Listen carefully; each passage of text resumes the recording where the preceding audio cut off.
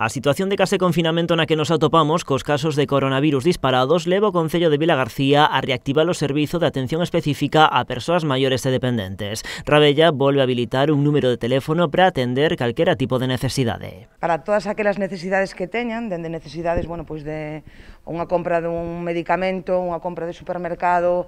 unha chamada de teléfono por unha situación de soidade, pois temos un teléfono eh, dende a partir do luns, que vai estar en funcionamento de luns a venres entre as 8 e as 3 da tarde, para calquera demanda de persoas maiores ou dependentes que se dirixan a ese teléfono, que os servicios do Concello, os servicios de intervención social, pois están aquí para, para colaborar e tratar de, de solventar as situacións de necesidade que se poidan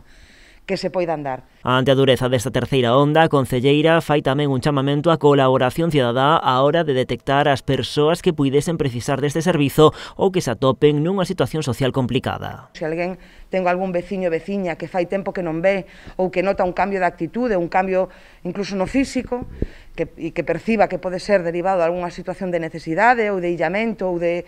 de depresión, que por favor pois acuda aos servicios sociais municipais a este teléfono. A socialista aproveita tamén para valorar a posta en marcha na cidade dunha rede de voluntariado. Indica que, por desgraza, moitas veces as administracións non dan chegado a todo, pero sí a cidadanía. Para nós é fundamental crear esa rede de voluntariado e así o percibimos durante, durante o confinamento, porque hubo moita xente que, que bueno, pues manifestou o seu desexo de colaborar con, co Concello a hora de solventar esta, esta situación. Naquel momento non tiñamos un marco legal que dese cobertura a esta figura de voluntariado, que é o que aprobamos onte en aprobación inicial, ahora hai un, un, un período de exposición pública e unha aprobación definitiva,